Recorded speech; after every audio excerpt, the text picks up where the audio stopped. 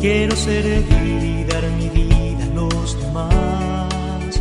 Quiero vivir. Este año 2020 la Congregación Pasionista celebra un gran año jubilar con motivo de los 300 años de su fundación en 1720. Con esta razón, el icono representativo de los santos mártires y la reliquia de San Pablo de la Cruz están recorriendo cerca de 60 países. Uno de los lugares elegidos es la región de Cantabria. Durante este año 2020 la Congregación Pasionista va a celebrar un gran jubileo. Se cumplen 300 años de la fundación de nuestra congregación por San Pablo de la Cruz. Es por ello que un icono representativo de la Pasión, junto con las reliquias del mismo santo, están recorriendo el mundo entero. Así fue que el pasado mes de diciembre, del 16 al 20, las reliquias y el icono llegaron aquí a Cantabria. Estuvieron primero dos días en nuestra presencia en Las Presas, en Herrera de Camargo, y otros tres en la parroquia San Miguel y Santa Gema, en Santander. Fueron días de gozo, de emoción, de renovar nuestro carisma y de convivir de una manera especial con nuestros fieles que alimentan su fe por medio del sentimiento pasionista.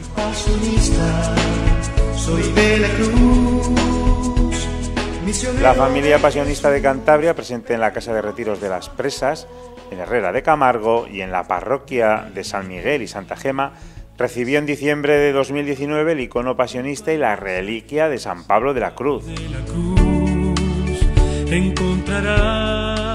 La primera parada en nuestra región fue el lunes 16 de diciembre en la Casa de Retiros Espirituales de los Padres Pasionistas en Las Presas.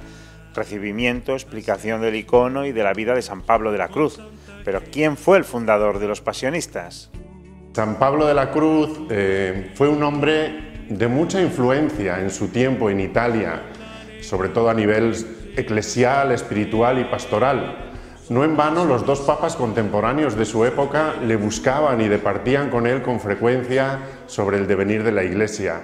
Fue un místico y a la vez un misionero, una persona que tenía manifestaciones trascendentes y que influía de manera decisiva en todo aquel que se encontraba con su presencia. Había nacido en un pueblito al norte de Italia, se llamaba Ovada, de una familia recia y religiosa.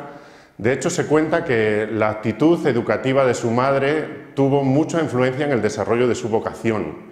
Amante de la soledad desde muy joven, en el encuentro personal con el Señor descubrió su vocación y su llamada a fundar una congregación que anunciare al mensaje de Cristo en la cruz. Así pues, allá en el año 1720, nuestra congregación se puso en marcha y llegaron los primeros religiosos. En una islita en el monte Argentario, en Italia, se fundó la primera congregación. San Pablo vivió con mucha intensidad todo lo que es el espíritu misionero y terminó sus días en Roma en el año 1775. Allá en la casa madre, en los santos Juan y Pablo de Roma, reposan sus restos.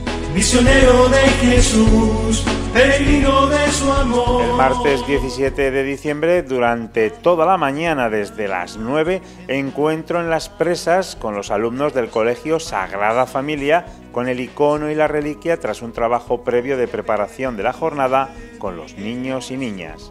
La Sagrada Familia es un colegio que mantiene una vinculación pastoral con la congregación pasionista, una congregación con un carisma especial. Cada congregación mm, tenemos un carisma, aunque a todos nos une un carisma muy común, el anuncio del amor de Dios a la humanidad.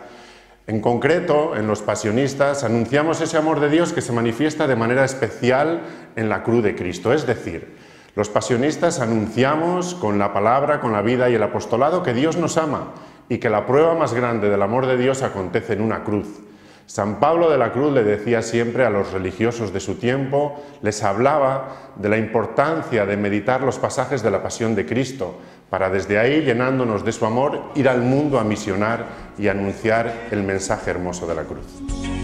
Misionero de Jesús, peregrino de su amor, soy pasionista, Por la tarde, Santo Rosario en la Casa de Retiro de las Presas, Eucaristía y para finalizar, la exposición del Santísimo.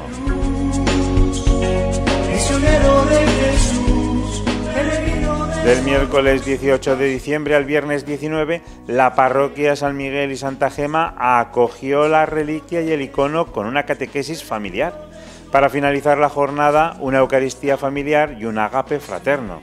Los niños han estado muy presentes en estas jornadas, atentos a las explicaciones de los padres pasionistas. Pasionista, soy de la cruz, de.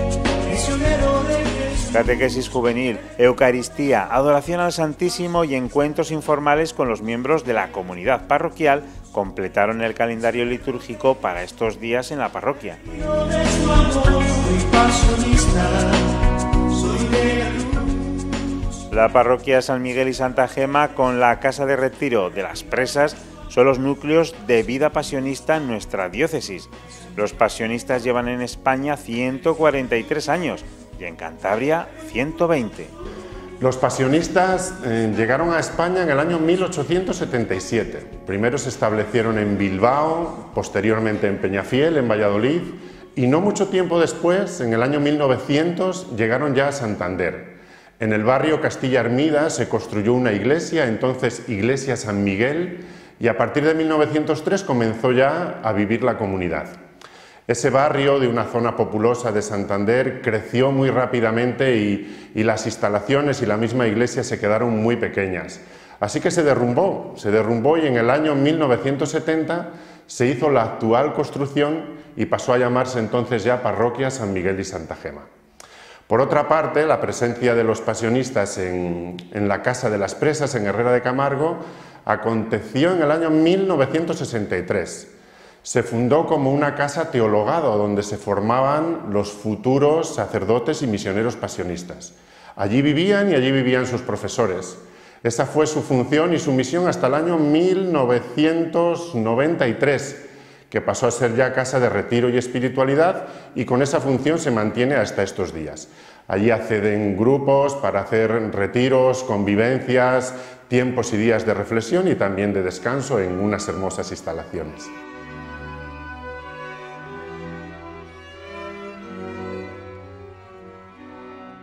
El viernes 20 de diciembre, despedida y último día de la estancia del icono y de la reliquia de San Pablo de la Cruz en nuestra diócesis de Santander.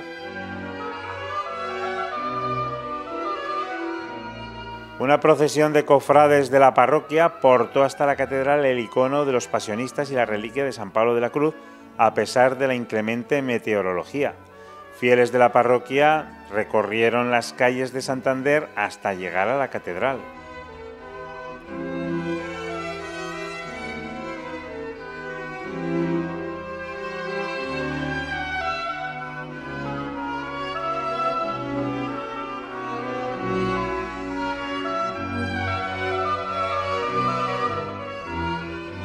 La Catedral de Santander acogió el icono y la reliquia. Asimismo, el obispo de Santander saludó con verdadero cariño y afecto a los padres pasionistas, agradecido por la labor que desarrollan en la diócesis.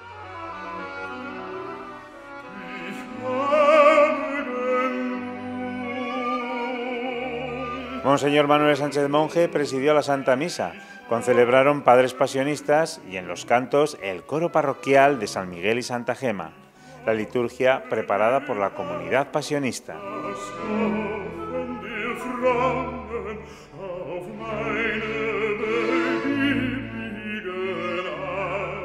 En la homilía, Monseñor Manuel Sánchez Monje agradeció la presencia de los pasionistas, los cofrades, fieles de la parroquia y amigos. Para don Manuel fue una satisfacción profundizar en el carisma de San Pablo de la Cruz con motivo del año jubilar y destacó varios aspectos. Para entender el carisma de San Pablo de la Cruz hay que estar atentos a las claves de su espiritualidad. La espiritualidad de este santo se funda, en primer lugar, en el abandonarse en Dios. La perfección más grande consiste en un verdadero y total abandono en las manos de Dios. Este abandono conlleva una perfecta aceptación de la voluntad divina en todo lo que acontece. Humillaos mucho, recomendaban sus escritos, cuando creáis recibir cualquier gracia delante de Dios. Muchas veces nos parece que cualquier gracia nos es concedida por nuestra oración, siendo otros los siervos de Dios que oran. Oh cuántos que parecían fuertes como los cedros del Líbano han caído. Un granito de orgullo puede hacer caer una montaña de santidad. Como habéis podido ver, une la unión con Cristo crucificado con la dulzura del corazón de Jesús. El que sufre con sentido cristiano, aun en el mismo sufrimiento, experimenta la dulzura que trae el sufrir unido a Jesús, que ha sufrido primero por nosotros y que nos ha entregado la vida. Diciembre de 2019 se vivió con alegría y entrega la acogida del icono pasionista y de la reliquia de San Pablo de la Cruz. Pero este 2020 es el año jubilar, un año con actividades pastorales y peregrinaciones. La congregación para este año 2020 recién estrenado está preparando, entre otras cosas, diversas peregrinaciones desde todos los lugares del mundo para recorrer los lugares santos donde vivió San Pablo de la Cruz y donde ejerció su misión. Además va a haber otro tipo de, eventos, de congresos, de encuentros a nivel de religiosos y de laicos, todo para darle gracias a Dios por estos 300 años de historia, de carisma pasionista y de encuentro con Dios de tanta gente por medio de, esta hermosa realidad y nuestra hermosa congregación. 120 años de la comunidad pasionista en Cantabria, 120 años de convivencia, de compartir y seguir creciendo juntos durante muchos años más. Los pasionistas mm, llevamos en Cantabria pues casi 120 años y pues es un gusto y un honor compartir con los habitantes de, de, la zona y de toda la región en general pues nuestra fe y nuestro carisma y les enviamos un mensaje y nuestro deseo y nuestro cariño de seguir compartiendo con ellos muchos años más y de crecer en la fe por medio del mensaje de San Pablo de la Cruz. De soy pasionista.